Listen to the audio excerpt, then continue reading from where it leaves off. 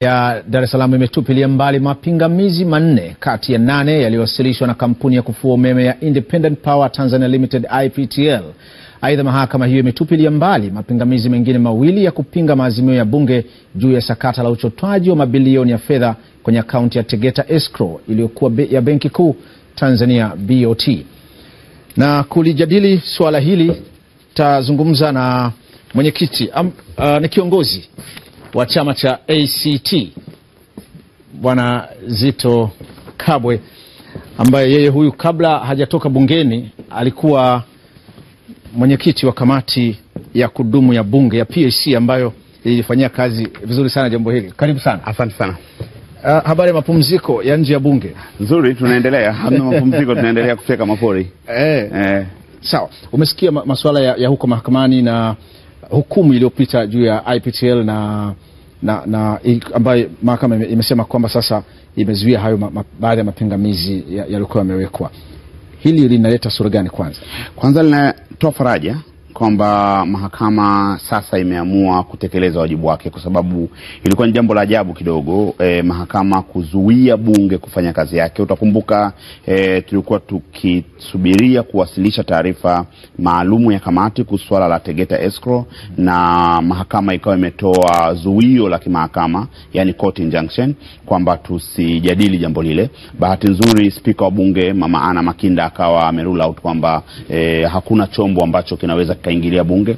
Kwa hiyo tukafanya mjadala na tukatoa maazimio manane, na sasa baadaye ndio wamekwenda mahakamani kwa ajili ya kuzuia maazimio yale yasitekelezwe, na mahakama imesema kwamba haina pawa ya kuzuia maazimio yasitekelezwe. Kwa hiyo tunatarajia kwamba sasa serikali itatekeleza maazimio ambayo bado hayajatekelezwa Kwa sasa. mtu wa kawaida kabisa, wa kawaida wa levu ya chini, wanachama wako wa ACT na mwana Tanzania mwingine yeyote yule wa vyama vingine anaelewa nini? Yani hii tafsiri ya hii mahakama, kama anasikia hukumu imepita wa, wa, kama wameshindwa IPTL, yaani aelewe nini? Maana jambo limekaa kisheria sheria, aelewe kwamba kazi ile ambayo tuliifanya bungeni e, imefanikiwa. Aelewe kwamba kazi ambayo wabunge waliazimia kwamba e, yule mmiliki wa kampuni ya, ya IPTL Habillah Sinseti akamatwe na kushtakiwa imefanikiwa, na sasa serikali haitakuwa na sababu ya kutokumkamata kwa sababu mahakama imesema maazimio ya bunge ni halali.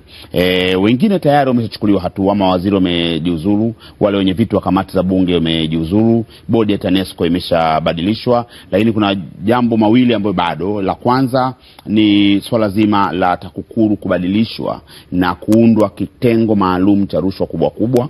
E, hiki bado hakijatekelezwa, sasa kinaweza kikatekelezwa, na swala zima la kutaifisha mitambo ya IPTL ili kuifanya imilikiwe na TANESCO, hili nalo lilikuwa bado halijatekelezwa, sasa litekelezwe. na lilizua mzozo mkubwa, lakini ndani ya bunge wengine wanasema haiwezekani ku- ku- ku- kutaifisha hii mitambo, wengine wanasema ni sawasawa. Kwa hivyo unadhani sasa kwa kupita hukumu hii itakuwa imesaidia wepesi kwa serikali? ni wajibu wa serikali kufanya hivyo, kwa sababu hapa tunapozungumza leo bado kampuni ile ya IPTL, yani aliyenunua IPTL anaendelea kulipwa zaidi ya dola milioni tatu kila siku kama capacity charge ile ile ambayo mahakama ilikuwa imeamuru mahakama ya kimataifa kwamba ipunguzwe ili nchi yetu iweze kupata unafuu katika bei ya umeme. Kwa hiyo kitendo cha kuamua ku, eh, kwa sababu tumeshakubaliana kulikuwa kuna rushwa na serikali inapaswa kuchukua kutoa mitambo ile. Tukishaitwaa ile mitambo, maanake ni kwamba hii capacity charge haitalipwa tena. Kwa hiyo ni kwa maslahi ya, ya nchi kufanya hivyo ambavyo tulipendekeza kwenye kamati. Punde tu kwenye taarifa yetu ya habari, nao uko hapa kitambo, ume, ume, umeshuhudia sakata kwenye bunge la Jamhuri ya Muungano pale Dodoma.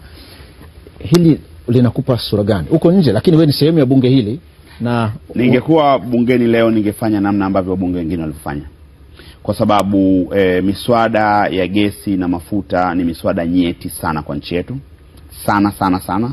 E, unakumbuka miaka miwili iliyopita kulikuwa kuna vurugu Mtwara, watu waliumia, watu walipigwa kwa sababu ya kutaka haki yao ya kufahamu ni namna gani ambavyo wanafaidika na jambo hili. Kwa serikali ilipaswa kuwa na usikivu wa hali ya juu sana. Nilikuwa kwenye ziara ya chama changu cha ACT Wazalendo mkoa wa Mtwara na mkoa wa Lindi. Wananchi hawana taarifa yoyote kuhusiana na miswada hii. Hakuna sababu yoyote ya kuharakisha, hakuna sababu yoyote ya kuhakikisha kwamba miswada hii inapitishwa kwa hati ya dharura. Ni muhimu sana miswada kama hii ipate mjadala mpana zaidi wa wananchi, wananchi waweze kujadili, watoe maoni yao na wadau wengine, ili kuweza kuwa na, na, na sheria ambayo ni bora. lakini Mheshimiwa Zito, hili ni bunge halali, lipo kisheria, kwa nini wakatae? Na, utaratibu upo. Ukiangalia vifungu na kanuni zinasomwa na spika na hata wenye viti wake wakisoma tangu jana, mambo haya yanaanza vurugu vurugu, taratibu taratibu, wao inaonekana kanuni zinafuatwa. Shida nini- kubwa ni nini mpaka ifike hatua hii kwa nini, wagomee? kwa nini miswada ya habari iliondolewa, miswada ya gesi iwe ngumu kuondoa? Ni swala la kwamba watu ambao wana wako nyuma ya habari wana nguvu, kwa waliweza kuishawishi serikali kuweza kuiondoa na watu ambao wako nyuma kwenye swala la gesi kuna- hawana nguvu, ni wananchi, ni wananchi wa kawaida kabisa ndio ambao wanataka haki yao. Asante sana.